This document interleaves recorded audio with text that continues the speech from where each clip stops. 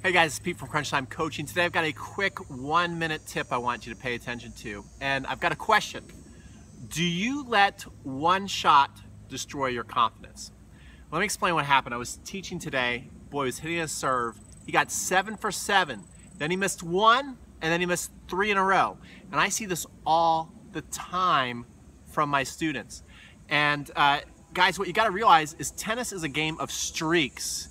And if you can go on a good streak, you want to accept that streak. You want that to build up your confidence. You don't want to be so bummed out when you finally miss. You're going to miss at some point.